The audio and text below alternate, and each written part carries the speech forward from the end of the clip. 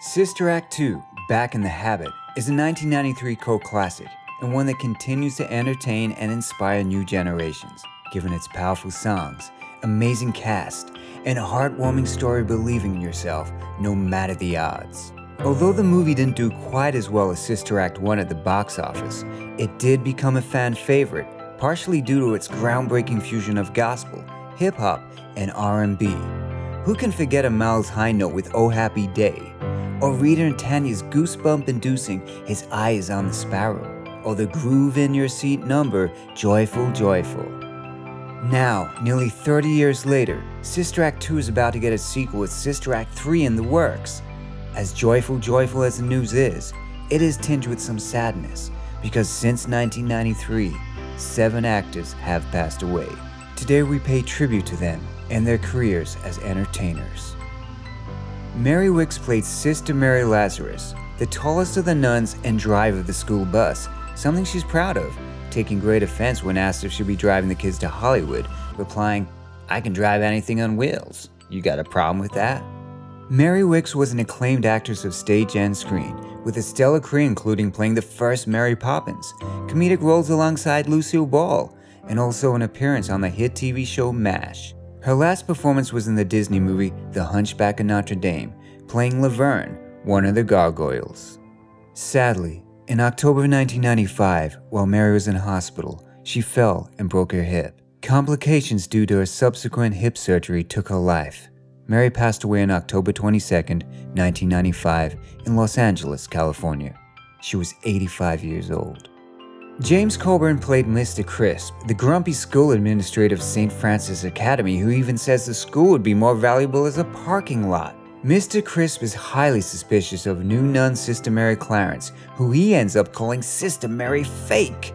In James Coburn's heyday, he was an action star, known for movies like The Magnificent Seven, The Great Escape, and the James Bond spoof film Our Man Flint.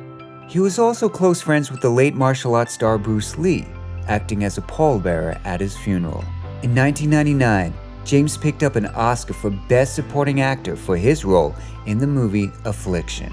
Coincidentally, Whoopi Goldberg hosted the Oscars that year. James continued to work for the rest of his life. Sadly, on November 18, 2002, he died of a heart attack in Beverly Hills, California. He was 74 years old. Michael Jeter played the humble, but tough when he needed to be, Father Ignatius. Who can forget him tricking Mr. Crisp into a closet so he couldn't spoil the kids' singing competition? Michael's career includes blockbuster movies such as The Green Mile, Waterworld, and Jurassic Park 3.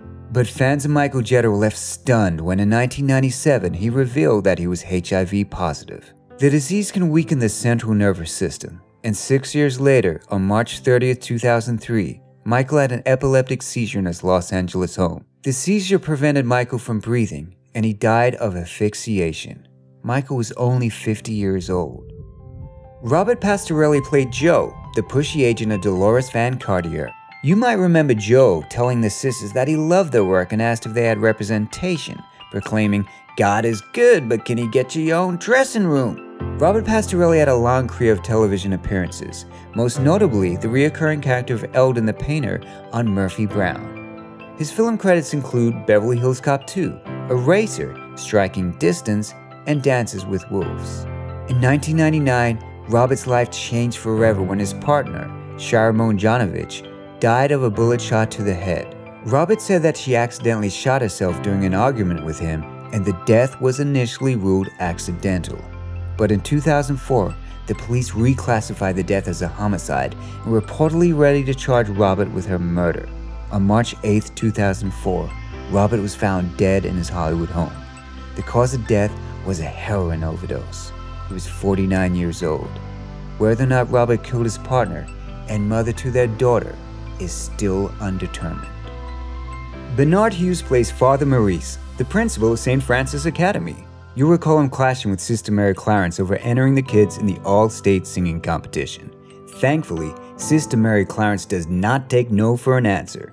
Bernard Hughes was a Tony Award winning actor and played over 400 different roles on stage, but you'll probably remember more for films like Tron, The Lost Boys, and Doc Hollywood. Bernard sadly died on July 11, 2006, in New York City. His cause of death was simply old age. He was 90 years old. Brad Sullivan played Father Thomas, the gruff Latin teacher whose lessons are so mind-numbingly dull he can even put students to sleep. But you certainly wouldn't drift off to sleep if you ever got in a vehicle with him, that's for sure. Brad Sullivan was an actor of stage and screen, and appeared in many famous movies such as The Untouchables and Chevy Chase's 80s classic Funny Farm. But 90s kids probably remember him best for the movie Bushwhacked, where he played the old scoutmaster who got replaced by a criminal in hiding. Brad sadly died of liver cancer in New York City on December 31st, 2008. He was 77 years old. And finally, we pay tribute to Ellen Dow. Appearing in both Sister Act 1 and 2, Ellen played the colorful and expressive nun of small stature. Although only having a singing part and being credited simply as choir nun, Ellen's personality shines through and grabs your attention, making her a memorable part of the ensemble. Ellen would go on to achieve fame in the 1998 movie The Wedding Singer, playing Rosie, the rapping grandmother who pays Adam Sandler with meatballs. Ellen continued to work until the ripe old age of 99. On May 4, 2015, Ellen passed away in Los Angeles, California. The cause of death was pneumonia. She was 101 years old. Although with the passage of time, the actors we love eventually pass away, some naturally, others in tragic or even questionable circumstances, their work lives on in the performances they gave us. Sister Act 2 will continue to be a special movie for generations to come, and the actors who gave us their best will never be forgotten.